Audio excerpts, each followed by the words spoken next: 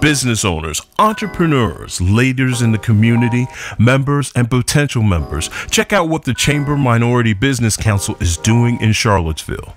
In its second year of existence, under the Charlottesville Regional Chamber of Commerce, the CMBC is doing some profound things that benefit all of Charlottesville and surrounding counties. The CMBC's purpose is to grow and support minority businesses by facilitating the startup of new businesses and the successful running of existing businesses. The Chamber Minority Business Council's goals in achieving its purpose are to substantially increase the creation of new businesses and improve their success rate, to serve existing businesses by enhancing their viability through increased exposure and visibility, and finally, to create an incubational environment where ideas, strategies, and talents are exchanged among members. One of the ways that the CMBC is reaching its goals is by hosting an annual business summit where all businesses, entrepreneurs, leaders, managers, actually anyone can attend, learn, and network. This past September, CMBC held its second annual business summit at the historic Jefferson Heritage Center. There were over a hundred people from diverse backgrounds and representing a variety of businesses that attended this year's event. They came to hear some great speakers, pick up some information and techniques that would be discussed in the smaller breakout sessions throughout the day, and also to network. Those that attended were treated to two powerful speakers Cynthia Murray, a CMBC member and owner of Cynthia Murray Enterprises, and the keynote speaker, Daphne Maxwell Reid, owner of Fresh Prints and New Millennium Studios in Petersburg, Virginia. Both women are dynamic, accomplished professionals and had much to say to those that attended. Miss Murray is a motivational speaker, coach, entrepreneur, leadership developer, and consultant. She was the morning speaker and got things energized with her enthusiasm, engaging manner, and her seven powerful principles of success. And interestingly enough, they all start with the word P, so hopefully that'll help you to remember it. The first one is produce. It's actually twofold produce and perform. If you have a product, you're producing it. If you have a service, you're performing.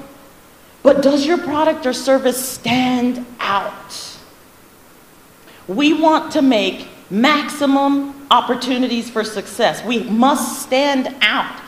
And so someone could say, well, I stand out because I'm a minority. I'm not talking about who we are now. What I'm talking about is what you're bringing to the table. I'm talking about why someone wants to buy your product and why someone wants to buy your service. Practice saying, I'm the best at and fill in the blank.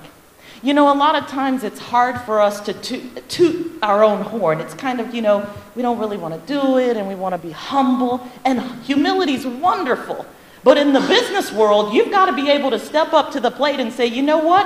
I'm the best at this. If you want this done well, you need to come to my company. If you want this product the best, you need to come to me. And back it up, not just with words, but back it up with your portfolio, with testimonies from other people. The second powerful principle that starts with a P is promote.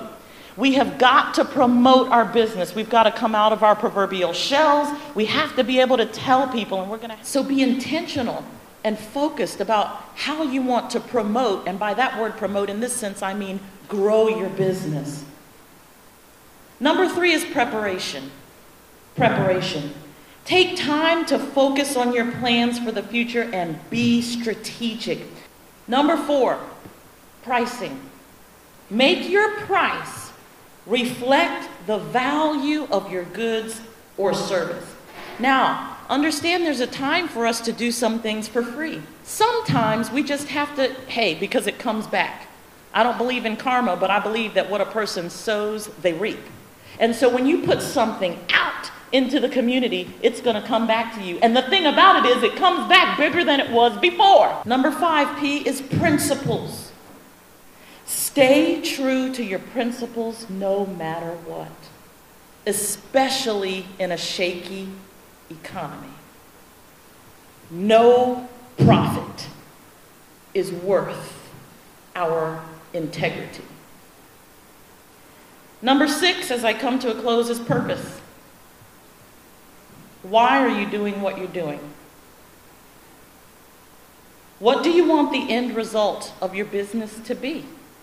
Number seven is people.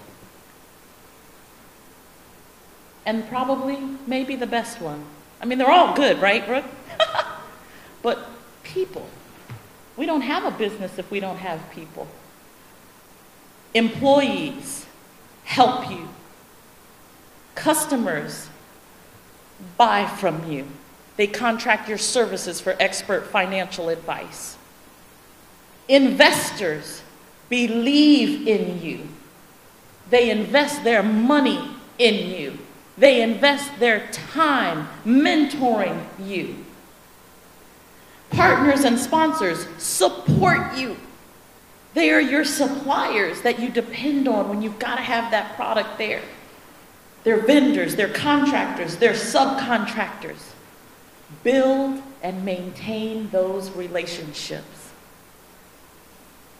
It's your greatest asset. She left many with not only business principles, but life lessons as well. Research and studies show that when we speak positive things to ourselves, then we begin to believe it. And once you begin to believe it, you begin to act on it. And once you begin to act on it, then all kinds of wonderful opportunities and doors and windows open for you and for me. SMART goals. Has anybody ever heard of SMART goals? SMART. So it's a mnemonic, it's an acronym SMART. Specific, measurable, attainable, relevant, and time bound. SMART. All of our goals should have those elements in them in order for us to have success. Not only did the CMBC bless the audience with these powerful speakers, they offered six breakout sessions to give attendees a chance to interact with facilitators and learn skills that will help them in business, whether entrepreneur, business leader, or employee. These sessions were facilitated by a variety of noted leaders in our community. These sessions were great ways for attendees to interact with one another and share concepts like this. Well, you can be groomed to be confident. One of my biggest plugs that have helped me to speak and become a better communicator and better leader was Toastmasters International. Because it teaches you improv speaking and it teaches you how to structure a speech. It teaches you how to talk within a time limit. And that's one of the things that every business person needs to have because when you be able to structure a, your message to a point where it's concise and keep people engaged because you know how to talk to and relate to your audience.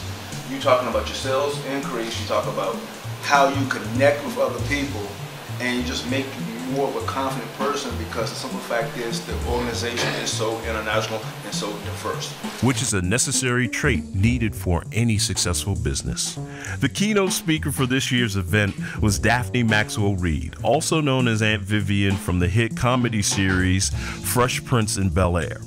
She is an actress, owner of Fresh Prints, a photographer, and co founder and partner in New Millennium Studios with her husband, actor, writer, producer Tim Reid.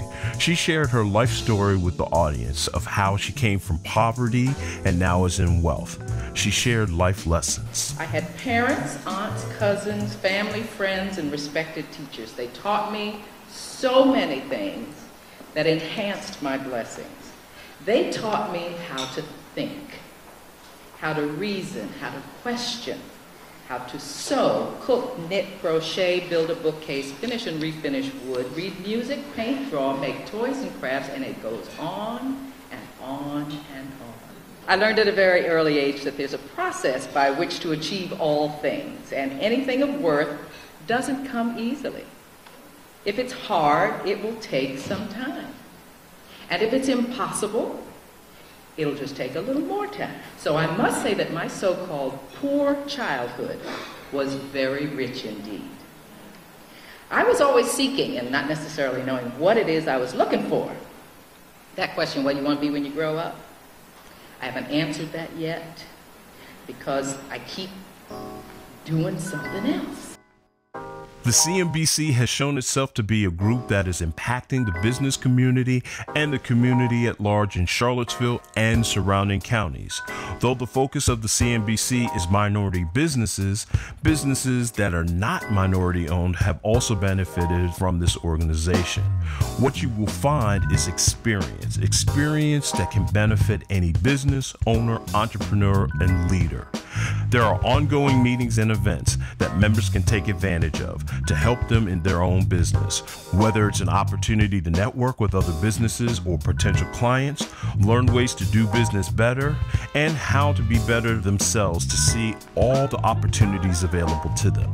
If you are interested in finding out more information about the Chamber Minority Business Council, you can check them out online or you can contact Andrea Copeland at 434 295 3141, extension 105. You can also come to one of the members only meetings and see for yourself the potential of the CMBC and how it can benefit you. What's interesting is that sometimes people hear the word minority and they all of a sudden come up with this concept that it's somehow less than or not as capable as. And what I want us to leave here today knowing is that is absolutely false. Nobody can start your business better than you, okay?